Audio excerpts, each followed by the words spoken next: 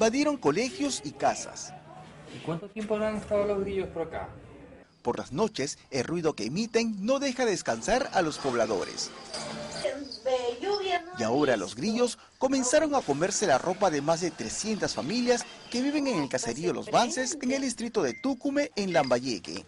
Buenas Estos insectos no solo vienen afectando las prendas de estas personas, sino que además han picado a varios niños y adultos por las noches. Anoche por andar matando así me cayeron dos y pican. Los vecinos han solicitado en más de una ocasión que el alcalde realice una fumigación para acabar de una vez por todas con esta plaga. Sin embargo, hasta la fecha no han recibido una respuesta positiva. Pero en la noche, como viene ese animal y anda en mi cama, mira cómo están me defendiendo en un toldito así.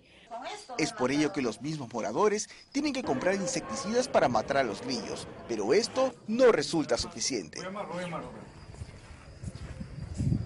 Estos insectos de gran tamaño aparecieron en grandes cantidades luego de las lluvias registradas durante el fenómeno del niño costero.